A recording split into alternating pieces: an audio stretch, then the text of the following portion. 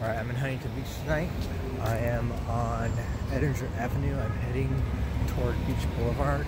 There's supposed to be a uh, impeach Trump rally going on tonight at the corner of Beach and Edinger. So I'm headed over there to uh, check it out and see how many people are there, how busy it is, that type of thing. Last I looked on MoveOn's website, there was uh, 85 people that were going to be attending. Uh, so as I get closer, I will, uh, I video again. I think I'm starting to hear, uh, sounds like a drum of some kind uh, as I'm getting closer to the corner. Uh, I see, oh, I do see some, uh, some signs and things. Here, let me flip the camera around. You should be able to see off in the distance. I see at least one American flag, which is kind of funny. Um, I see a bunch of, I think I see some signs. I see quite a few people. So uh, I'm gonna get closer, see if I can get some better video. Alright, ain't getting any closer than this. A lot of impeached Trump people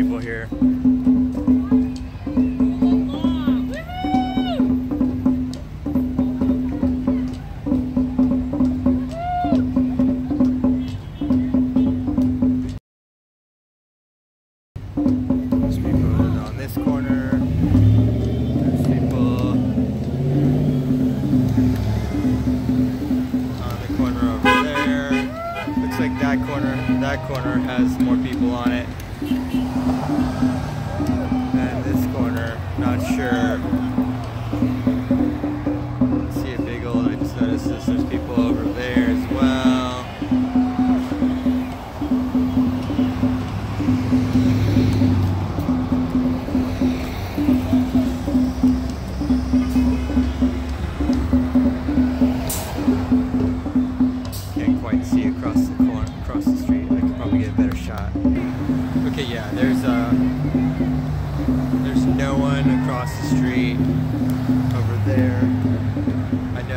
That their website they were trying to uh, get enough people to fill out four corners. Looks like they got enough for three.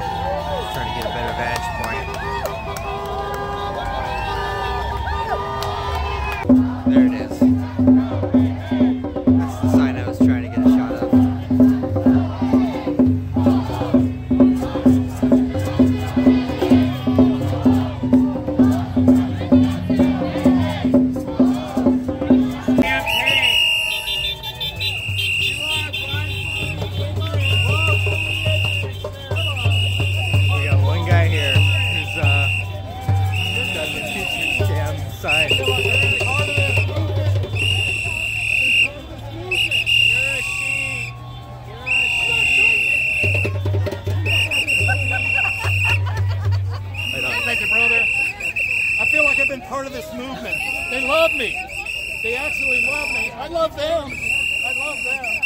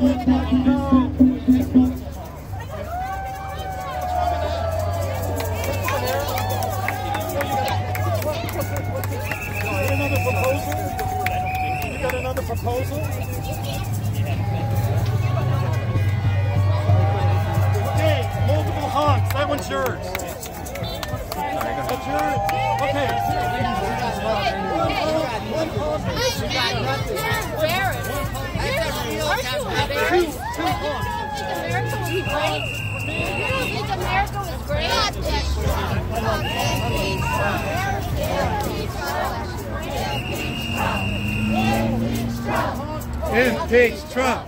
Impeach Trump! Impeach Trump! Impeach Trump! Impeach Trump! Impeach Trump! Impeach Trump! Impeach Trump! Impeach Trump! Impeach Trump!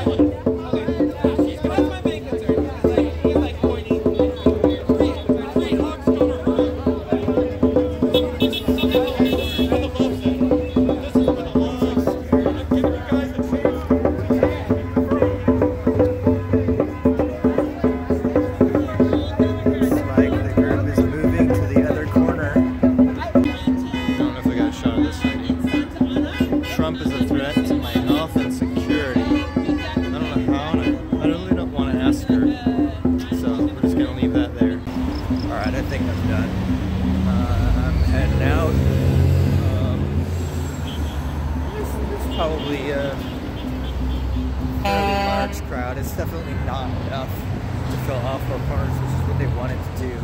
Um, I wouldn't say that 80, 80 people showed up either. I didn't count them, but I would say there's probably about 60 people there.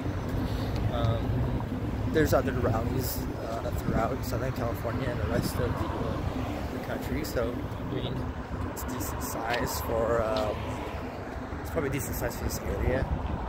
That might be. That might be all the liberals in Orange County actually. and like the lone, there was a lone conservative there. Um,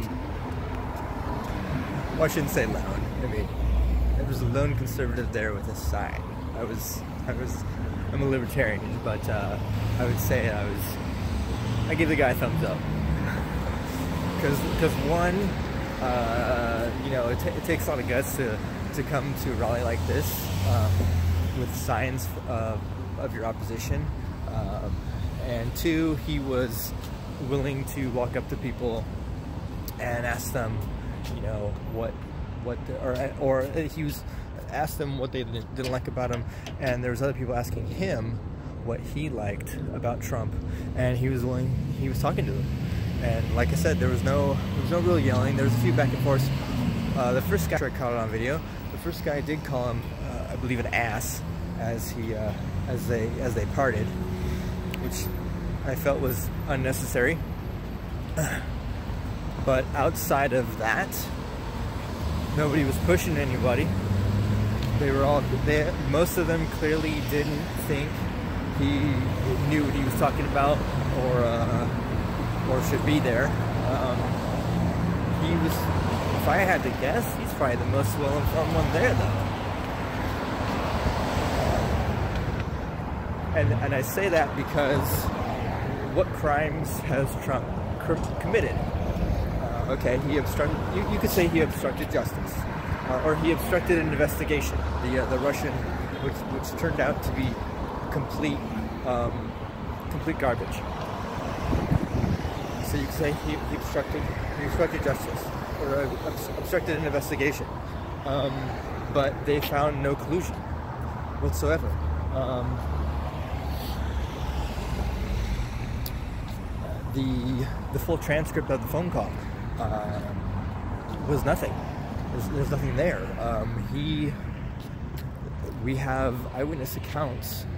Um, the um, I can't remember, uh, but they basically said that Trump actually said no quid pro quo, none at all whatsoever. Um, he didn't want anything like that. These um, these uh, State Department, I think they're State Department officials. State Department officials, these uh, CIA operatives, um, I can't remember. Basically, the, the, people who testified, the ones who said, "Oh, they believe that there was quid pro quo." It's, it's funny because that's how they they they supposedly interpreted his um, what he said and some of his actions as meaning that he wanted something in return. But then when we have uh, witnesses who said when they talked to Trump himself and he said no quid pro quo, well, I mean, I think that says it all right there. He didn't want anything in return. He wanted the uh, the government of Ukraine to just root out their corruption. It wasn't and we'll give you something. We'll give you what you're asking for. It was just find the corruption. Um, but uh, you know, the media is continues to play this game of not reporting the facts. The Democrats continue. This is, I mean, we're in year three, and um, like I've seen around online, they were talking about impeachment before the election even took place in November. So that's you know, and that's where we're at. The I I, I heard somebody say the impeachment vote is tomorrow, so I'm I'm sure that they will impeach him. It will go on to the Senate, and it will go down in flames. Because if it doesn't go down in flames, if Trump does in fact get removed from office, the precedent this sets is is scary. It's extremely scary because it means that when half the country isn't happy with the outcome, all they got to do is replace the the the uh, the House of Representatives with their party and impeach the president and have enough people in the Senate to get a conviction. And you will see if this if this happens, you will see um, future presidents get impeached and removed from office over nothing more than half the country doesn't like them. And that's just that's a scary thought, you know. Just because you don't like the guy doesn't mean he deserves to be removed from office. I didn't like Obama, but I didn't go around saying impeach him despite all the and I could list them off if I wanted to. All of the unconstitutional, unlawful things that he did. We can start with deploying troops or sending troops to Libya. Uh, he did it, and and the reason, and without telling Congress, without requesting authorization from Congress, even under the War Powers Act. And the reason that he, you could say that he got away with it, is because he sent them and then pulled and then pulled them out uh, within that 90 day window. President has 90 days to inform Congress. He didn't do it. He just sent them and then he pulled them back out. Um, dr- um, droning um, enemy combatants, droning American citizens. There's a reason Rand Paul stood up in the Senate and filibustered because Obama was telling, and and the left was okay with this. Obama was making the sole decision of who could be droned. So, you know, there's there's complaint about it, there's protest it, and then there's impeach and removal. Well, if it's not treason and nothing Trump has done has been treasonous, then he should not be removed from office.